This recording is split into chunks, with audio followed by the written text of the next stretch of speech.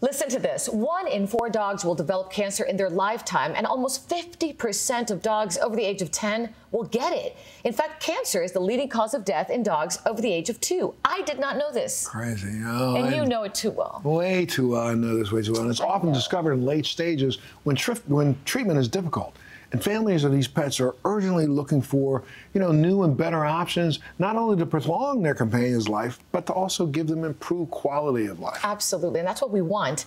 Today, we have good news on that front. Here to tell us more is veterinarian Dr. Brooke Fowler and Tammy Wahaus, CEO of Elias Animal Health. Thank you both for so much for being here today. Thanks Thank for having us. Absolutely. So let's talk about this. I mean, we're both dog lovers. He just go ahead, tell uh, Yeah, I lost my little guy uh, three months ago cancer riddled throughout his body. Yeah. And the statistics are just, I'm so sorry. And, and, they're so sobering, Doctor. Abysmal, abysmal. So, six million dogs will be diagnosed with cancer every year.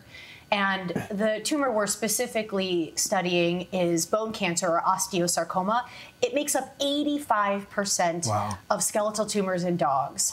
The standard of care at this point is amputation and then additional chemotherapy. And the average dog lives nine to 12 months uh, 10% of dogs will go on and have a longer term remission. It's, it's sad, mm. it's pathetic. I mean, you mentioned the standard of care, but doctor, I mean, well, Elias has been working on an option, right? Why don't you tell us a little bit about that? Yes. We have an exciting opportunity to bring a new immunotherapy to market as an alternative to traditional chemotherapy for the treatment of bone cancer in dogs. And it has the potential to be useful against other cancers as well. It's built on 50 years of scientific research. We've done rigorous clinical trials to evaluate safety and efficacy in dogs and we're looking forward to the advancement of this technology. Can we talk more about these clinical trials? Because they're really important. I mean, they really paved the way to help these dogs. Absolutely. In our first clinical trial, we had median survival time in bone cancer dogs at 415 days, which is definitely longer than a year, compared to traditional chemotherapy, which comes in at about 270 days. Mm. Importantly, 50% of the dogs in our study were alive at the end of one year. Wow and, 36% were still alive at the end of two years.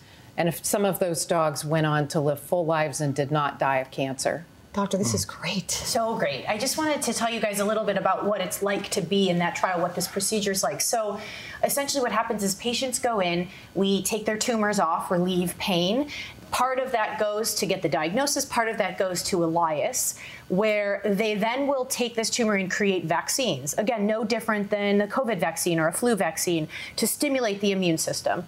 They send those vaccines back, we give them to the patients, ramp up that immune system. They then undergo a procedure called apheresis, where we then harvest all those immune cells ship them back to these guys. They do their magic, expand those cells, kind of make that immune system angry, want to go back in the dog and fight. Send it back to us. We put it in the patient. Then those immune cells keep being stimulated with some of the things that we're giving, and, and they do their work.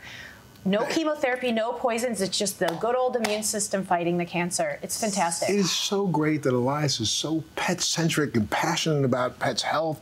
You you make sure you guarantee data driven, you know, scientific based results. Uh, any final thoughts? Absolutely. Everyone you meet has a cancer story, whether it's a personal diagnosis, a family member, parent, sibling, child, and also your best friend your dog. Which can also be your child. Yeah. yeah.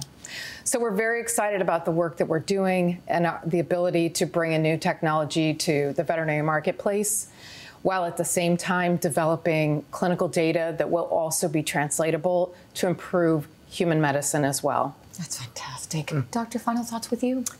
I'm just very honored to have been able to participate in this. It's something that I truly believe has a, a very important future in medicine. Thank, Thank you. you. so much. Thank you both so much for being here today. And for our viewers who'd like more information, where can they go? So they should visit our website, eliasanimalhealth.com.